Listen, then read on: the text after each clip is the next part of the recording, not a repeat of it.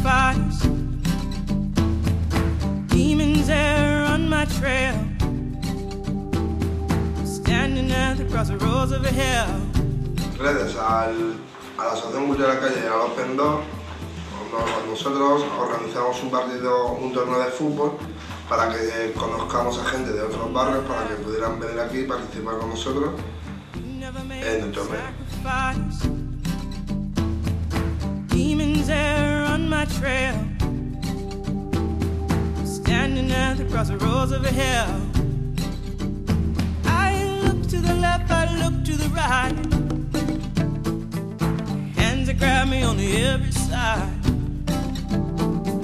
Pues gracias a Open Door y a nuestra asociación a moverse, pues pensamos en cómo poder entretener a los chavales con algo que les guste.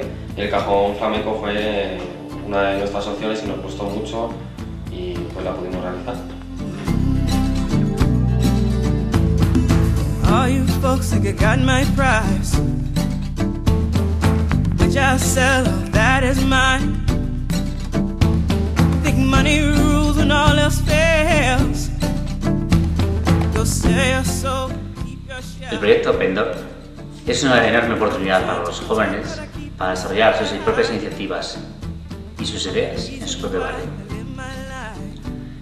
El objetivo es que los grupos de jóvenes, entre 3 4 personas, propongan ideas para hacer en su barrio, para ellos mismos, para otros vecinos, para su instituto, en definitiva, que ellos se preocupen de su propio desarrollo. El premio es desarrollar el propio proyecto. Siete grupos de chavales y jóvenes de nuestro barrio han podido desarrollar su idea. Este proyecto es muy interesante para poder promocionar la participación de los jóvenes en su barrio. Les propone iniciativas muy cercanas y sencillas a su propio desarrollo, sin las dificultades que entraña pedir una subvención para un proyecto más grande.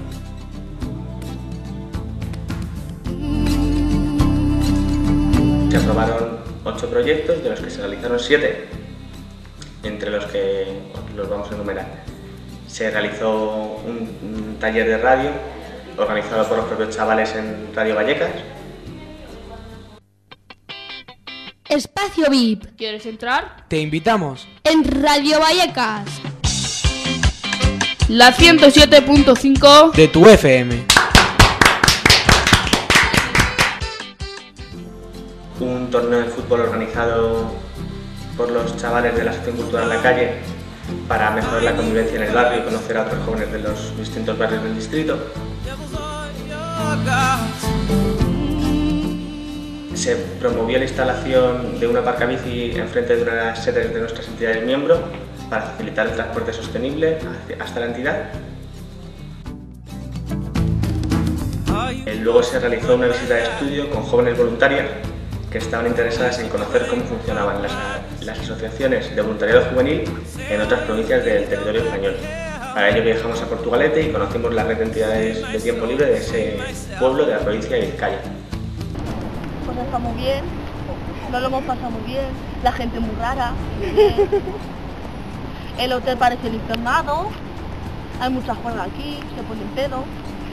Hemos conocido cosas nuevas, hemos jugado con los niños,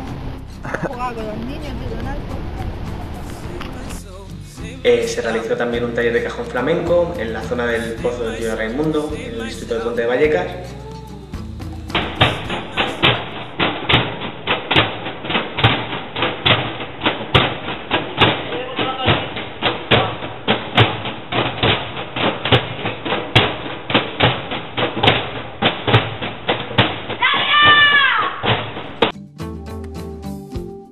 Se organizaron videoforum periódicos en otras de nuestras entidades, orientados a los jóvenes y adolescentes que visitan esa entidad para hacerles tener un sentido crítico frente a la información que reciben.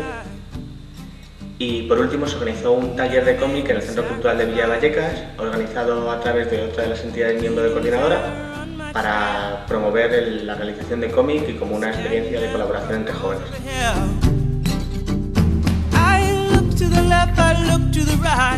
El proyecto finalizó con un encuentro en Bruselas. El objetivo del encuentro principal era que los jóvenes participantes en Open Door en los diferentes países intercambiaran sus experiencias, compartieran visiones de futuro, aprendizajes.